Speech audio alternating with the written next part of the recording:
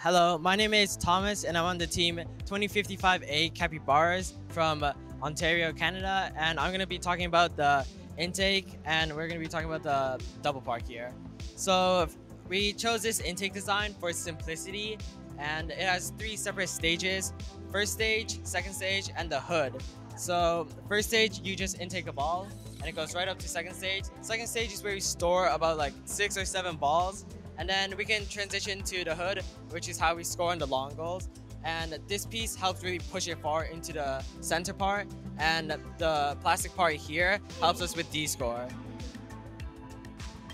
So near the top of our intake, we have this piston right here.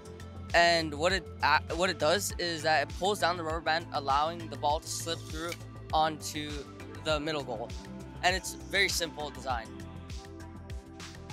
The Robotics Education and Competition Foundation provides fantastic programs for students from elementary school all the way through college. To discover these exciting opportunities, visit recf.org and get connected.